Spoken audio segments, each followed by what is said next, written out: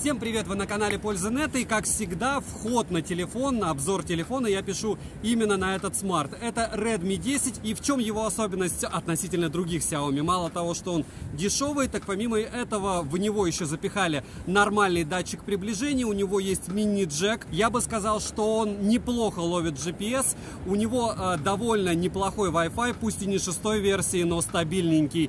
И, в принципе, к телефону особых претензий нет, когда ты вспоминаешь о его стоимости. Основная камера на 50 мегапикселей, но логично, что это чистой воды маркетинг. Хотя, опять же, когда вы увидите примеры фото и видео данного телефона, снятые на данный телефон, вы легко сможете определить, что то, что показывают в интернете про инженерные образцы и китайскую версию данного аппарата, очень сильно отличается от глобальной версии того, что я купил на Алишке и о чем сейчас рассказываю. Мне он обошелся в 500 раз, наверное, наверное, за ролик вам вспомню, в 10 600 рублей с бесплатной доставкой. Нас таких купило это телефоны много, я этому рад, мобила норм. Смотрим обзор. 968 на ютюбе, розыгрыши море, читаем описание, какие сейчас актуальны. Постоянные 5 ми бендов 6 серии разыгрывается за лайк, подписку и комментарий к любому видео. Роликов обычно 7 в неделю, каждый день есть что посмотреть. Подписывайтесь с колоколом, а сегодня я расскажу вам о смартфоне Xiaomi Redmi 10. Полетели. На руках у меня глобальная версия, коробка из плотного картона, оформление минималистичное с небольшим количеством информации на русском языке. В комплект входит смартфон, блок питания на 22,5 Вт с привычной вилкой, кабель для зарядки USB Type-C, скрепка, защитная пленка, чехол неплохого качества и руководство пользователя тоже на русском. Запаха клея нет, но запах ацетона положили. Не могу сказать, что из этого приятнее. Летим дальше. Поставляется данный девайс в трех разных цветах корпуса. Белая галька, серо-углеродистый и морской синий. Размеры относительно относительно средние составляют 161 мм на 75 мм и на 11 мм в ширину, вместе с камерами и 9 мм без блока камер, вдруг вы решите его спилить. А весит устройство 181 грамм. Тыльная часть изготовлена из глянцевого пластика, который моментально пачкается и царапается. Рамки сделаны из матового пластика, не такого маркового, в отличие от тыльной части. По дизайну хотелось бы сказать, что градиент слишком выражен и нет переливаний игры света, как у подобного рода дизайна телефонов. Но то, что фотографии продавцов продавца и реальность разнятся, это факт. В руке без чехла держать удобно, из рук не выскальзывает. На корпусе расположена кнопка питания, в которую внедрен сканер отпечатков пальцев, качель регулировки громкости, разъем для зарядки USB Type-C, микрофоны, динамики, два основных, один разговорный. Звучание здесь стерео и последнее непрорезиненный слот на две сим-карты и карту памяти. Звук вполне нормальный, хоть и не уровня флагманов. Кнопка блокировки без люфта, качель регулировки громкости слегка люфтит. Есть разъем под мини-джек и есть ИК-порт. Смарт оснащен дисплеем на 6,5 дюймов, Full HD+,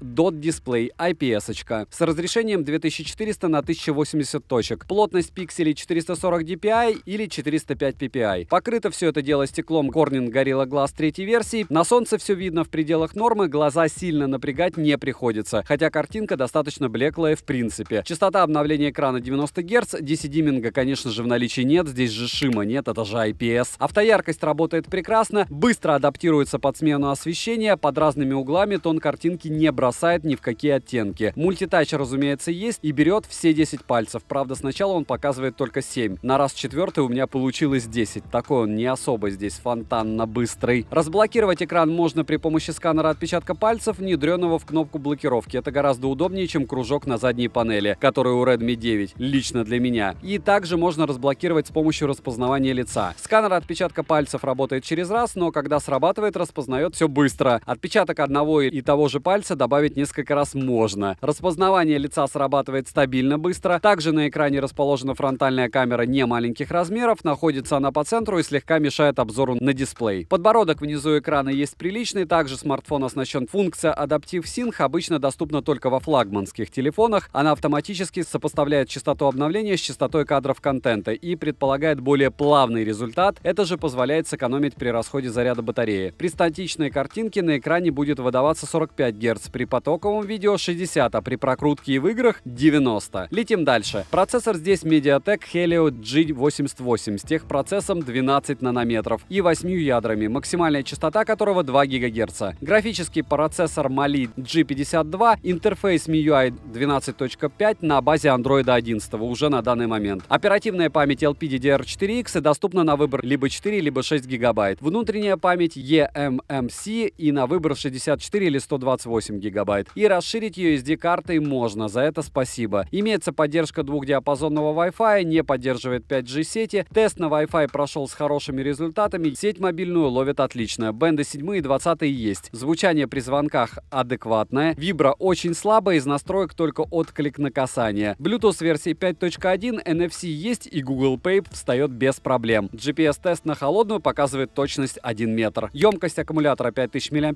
PCMark выдал 7 часов 7 минут и осталось еще 20%. Тест я проводил при 90 Гц на максимальной яркости. Заряжается с нуля до сотки от родного адаптера питания за 2 часа 50 минут. Это достаточно много, как вы понимаете. Смарт поддерживает быструю зарядку, но только на 18 Вт. Хватит его для просмотра видео через Wi-Fi на часов 12. В тяжелых играх за 30 минут съедает 10%. Тот же Genshin Impact будет поедать 20% в час, поэтому хватит его на часов 5 игры. И это хороший результат. Беспроводной зарядки, разумеется, нет. Тротлинг-тест прошел и показывал следующие результаты. 89 GIPS ов минимально, максимально 150 GIPS ов и в среднем 123 GIPS а на 100 головках при 30 минутах. 3D Mark показал Wildlife 721, Wildlife Extreme 185, Wildlife Stress Test 724, Slingshot Extreme 1392 и Slingshot 1842. Данные Antutu не фонтан, выдал он результат 173 тысячи попугаев. Storage тест показал 14 900, на холодную стресс-тест прошел не идеально. Результаты вы видите на экране. В Shadowgun Legends на максимальных настройках играть не совсем комфортно. Мешают фризы, в среднем выходит 26 FPS. И нагревается он до 43 градусов. В Genshin Impact на максимальной графике при 30 кадрах в секунду получается около 10 FPS. Это очень плохо. Ну, вообще, в принципе, не играбельно Genshin здесь. На минимальных настройках играть уже приятнее, показатели вырастают до 12-17 FPS и греется он до 45-47 градусов. В PUBG играть комфортно на высокой графике с высокой частотой кадров. В тяжелых играх сильно не разбежишься, яркость не понижает, но без лагов никуда. Плюс через минут 15 начинает люто греться. Основной блок камер с тыльной части состоит из четырех камер. Основная на 50 мегапикселей, ширик на 8, макро на 2 мегапикселя и датчик глубины на 2 мегапикселя. Как любят Xiaomi, правильно, эти крупные цифры, 50 мегапикселей. Запись видео доступна в максимальном разрешении 1080p и 30 fps. Фронталка тут только 8 мегапикселей, максимальное разрешение для съемки видео 1080p 30 fps. Да, фронталка и основная камера снимают в одном разрешении. С фронталкой все печальнее, конечно. Короткие примеры вы сейчас увидите. Redmi 10 и это глобалка. Если вы не понимаете, то все, кто вам делали обзоры не на глобалке, на китайские версии, это люди получили инженерные образцы. Обычно у них прошивка уже 12.5.4, 12.5.5. По факту на глобалке, которую я купил за 10 600 рублей, о чем я 30 раз вспомню в ролике, стоит версия прошивки 12.5. 5.2. И здесь, как вы видите, нет роллинг шатра. Здесь в помещении даже с искусственным освещением, даже ужасная практически у всех фронталка работает ничего, потому что мы что помним? Помним цену этого девайса. И меня не интересует, за сколько кто берет ее в Зимбабве или Российской Федерации.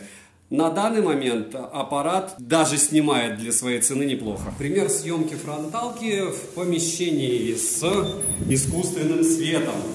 И логично, что фронталка не супер. При том, что, как вы видите, идет переход от дневного света к искусственному. И я бы не сказал, что она ужасна. При том, что даже стабилизация, даже микрофоны и все остальное в глобальной версии данного смартфона который продавался на Алишке, э, в принципе, меня устраивает. Говорю, опять же, относительно его стоимости. Улица, вечер, освещение прямо супер, но сзади, как вы видите, кстати, не такое мыло, это учитывая, что фронталка. Что мы делаем? Мы тестируем фронтальную камеру у Redmi 10, это чуть ли не самый дешевый телефон от Xiaomi, но он не является прям супер бюджетником, потому что 4 гектара оперативы в нем все-таки есть. Плюс логично, что туда можно SD-карточки запихивать, еще две физические симки, но об этом вы и так уже не раз услышите в ролике. А сейчас мы пытаемся все-таки оценить, Стоит ли фронталка своих денег или нет? По-моему, стоит. 1080p 30 fps. Какая-то цифровая стабилизация здесь, конечно, на основной камере есть. Но я бы не сказал, что она супер. Сейчас буду снимать с двух рук. Сейчас э, двигаюсь довольно плавно. Если остановиться и попытаться поснимать, ну, не все печально. Смотрим, какой здесь максимум X. Мыло, но X6 да, лютое мыло. Стандартно, ничего относительно других телефонов не поменялось. Могло быть хуже, могло быть лучше. Снимаю сейчас с одной руки. ожидать чего-то от стоимости до, наверное, сотен трех баксов я бы не стал, потому что, несмотря ни на что и вопреки всему, проц решает, а проц здесь не супер, и GKM здесь вряд ли что-то вывезет, но с другой стороны для каких-то для домашних задач пойдет. Минусы. Маленькое разрешение съемки, быстрая зарядка только на 18 ватт, сильно греется при сильных нагрузках, мало памяти и слабенький проц. Цена его в районе 180 долларов минимальной комплектации. По ссылке в описании к видео. Хороших отзывов на Али достаточно, только с одного лота продали больше 21 тысячи экземпляров данного аппарата. Есть ли промокоды, посмотрите в моем телеграм-канале также по ссылке в прикрепленном закрепленном комментарии. Вдруг на момент вашего просмотра появятся скидки, я туда обязательно скину промики. К слову, у Xiaomi начнется сейл 23 на особые модели телефонов. Опять же, смотрите в телеге, плюс там будет еще и планшет. А 26 будет общий сейл на Али, притом достаточно выгодный. Резюмирую, смарт в целом неплохой. Все самые минимальные необходимые функции на борту и все они рабочие, поэтому свой ценник он оправдывает. Сравнивать новейшими флагманами среднего сегмента и выше смысла нет. Но однозначно, если вы любитель тяжелых игр, сможете поиграть с удовольствием только на минимальных настройках. Подписывайтесь с колоколом, ставьте лайк за труды, девайс сюда. Добра и удачи вам, дорогие друзья!